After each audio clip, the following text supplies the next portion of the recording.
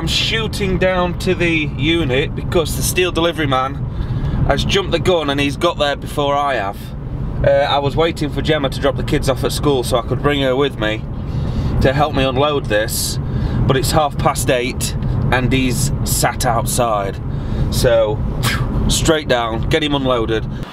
My goodness, that was a mad dash, but we've got it off. The big tube's underneath me, and the sheets are over there. I'm to bring them in. I'm a little bit warm now, shiny forehead. So this is 1300 quid worth of steel, folks. We've got some big pipe there for legs, some one inch uh, hygienic for outlets and tin, some flat bar to help make a cooling jacket, which might not be going on straight away, but it was cheap enough that bit. And then over here, we've got the sheets of 2x1, which are going to form the base and the lid. And then behind we have the big sheets of 1250 by two and a half meters. And they're going to form the tank, so you can get a feel for how tall the tanks are going to be, can't you, straight away? I probably don't need a conical base. Picking up the lady.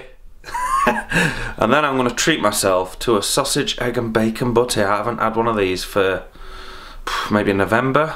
Not one that I've bought anyway, I've made one at home, don't get me wrong. Can't go that long without one. So, quick butty on the way down to the shop. And we gotta get our roll on. Are you a bit nippy, me duck? I'm actually not too bad. My feet are a bit cold. Good. Let's go and get a nice sandwich. i Having a sandwich. Oh yeah? Sandwich. Nom, nom, nom, nom, nom, nom, nom, nom, nom, nom, nom, nom. Right, I never managed to get any wire rope in time, but I've put the, I've just put some, you can hear that works. I've just put some normal rope up for the emergency brake. Reset the machine. So we're going to give it a quick roll.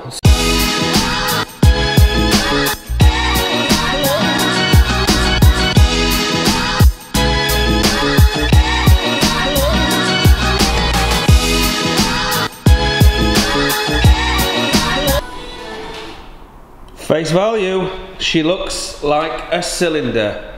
Couple of issues that we've had.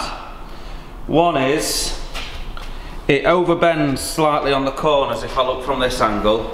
You see that? Everything else is pretty good, but it just overbent on the corners. And I think that's due to it riding up just on this here. You can see it's shiny where it caught. I think that's what bent it. Same on that side, it sort of took the paint off just there.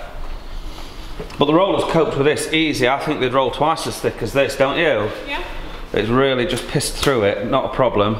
It's got a nice radius all the way around the body of it, and it's just where we started and stopped. But what I did notice is because it's overbent, there is no obvious flat spot, which means when I do get these, I'll just bend them about and bash them about a bit, square them up. When I do get them squared up, they should meet nicely on the scene. Right, we're going for the second roll. So we've pushed the steel into the rollers and clamped them up tight. And then what you do, you roll your back roller up halfway so you can whack the steel against the back roller to square it. Then we know that that steel is 90 degrees to the perpendicular. Is that the correct terminology? I'm making it up. So now we're pinched tight on there. I will lift this roller, take this roller back down and allow the steel to come through and we'll roll one way and then back again, hopefully putting the right, the right curve onto her.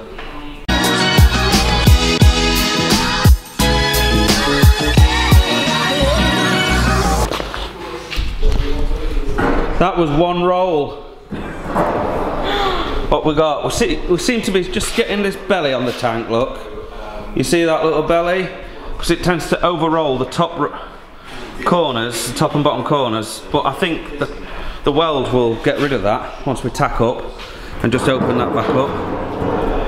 Oh, cool. Four of them. Uh, so we've got one more to do. I think I nailed that though, don't you? Yeah, that's good. 12.31. 12.31 folks, it's dinner time. We got here at what, half 10 or 11? Half ten. Half 10. One, two, three, four, five. What do you think? We're officially now a fabrication shop. Woohoo! First one tacked up. So I've been very, very generous with the tacks. I've run all the way down. And on the other side, you can see it's come through. It's not too bad, actually. There's no sugar in. Uh, before I weld it though, I'm going to weld it from the inside out, I think. But I want to get a piece of extruded aluminium to clamp to the other side to just back it off so I don't get any sugar in it on the other side. At first I started tacking with 40 amps and just making a little puddle. Then I realised what I saw on welding tips and tricks the other week. So I just whacked the welder up to 250 amps and just pounded the foot pedal, just a quick blast, and it made these lovely shiny, nice, clean tacks. There's just a little crater in the middle of them, but that'll disappear obviously when I weld over them. But very, very nice. And I just ground these two out here because it wasn't flush when I ran my finger over it, but I just reset them a little bit. There's a slight little ridge there. But here, you know, there's not even a thou in that. Beautiful. Not to be baffled, and in order to be able to continue with the welding, I've got this old scaffolding bar, which is aluminium, which I'm, I just use for like moving things around as a lever. But I was just thinking, why don't I chop the ends off and run this through the roller and maybe flatten it out and I can use that to back onto the onto the inside of the weld. Right, we've got the aluminium section. That's half of a scaffold tube. And it really is quite light, so I'm going to see if we can roll it flat with this. It's about two mil thick, so with it being alley, this should absolutely uh, make short work of it.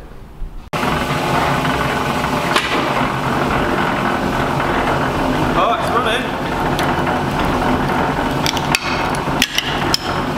Oh, it's split.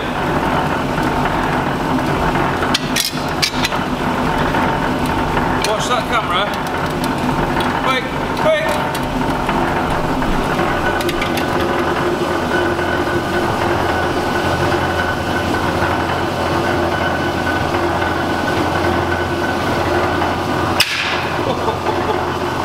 Made me jump out my skin.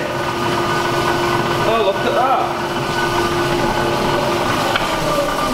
So it's torn it. It's next door.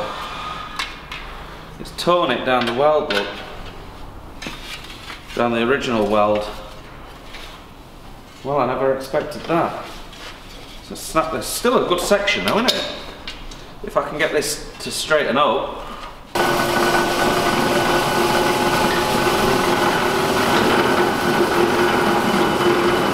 Just putting out.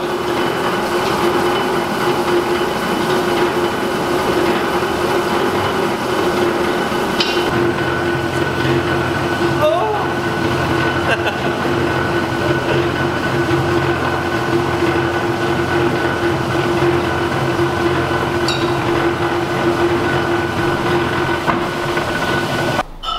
I mean to say two minutes ago that was a round piece of scaffolding pipe.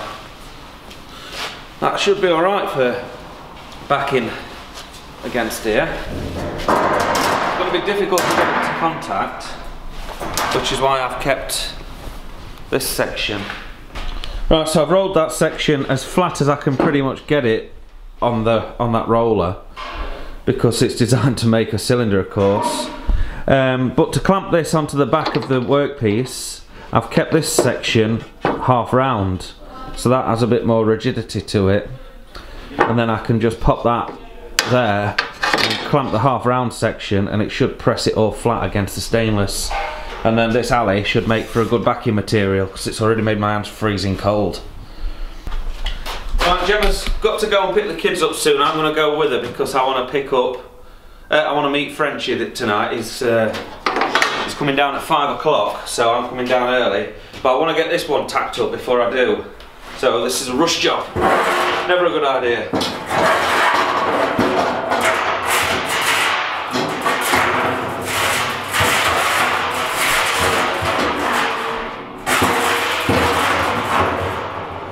Bloody camera woman just stood there, not helping. Only joking. Let me get this.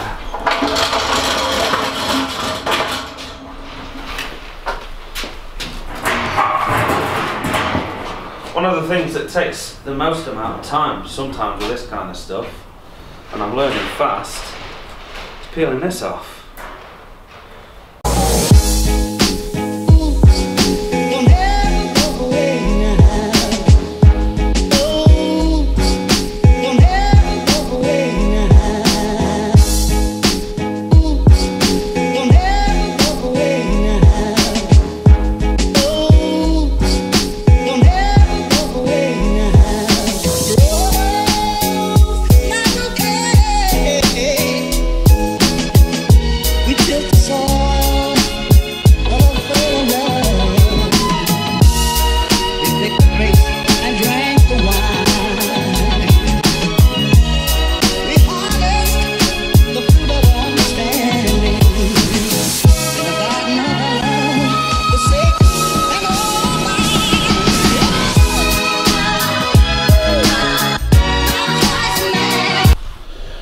Can see it's just flat spotted here. I think that'll come out on the roller.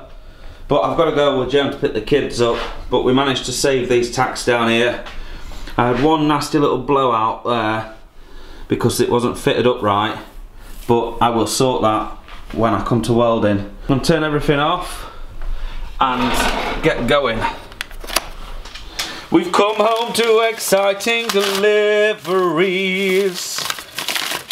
That's right, folks. It doesn't get any better than this. Cha-ching! You know the uh, pressure dial, pressure gauge that I ordered for the compressor? And I thought it needs to come with a quarter inch fitting. Well, it did.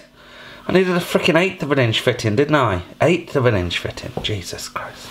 I don't doing that. It's alright, honey. I can see you eating the bolognese.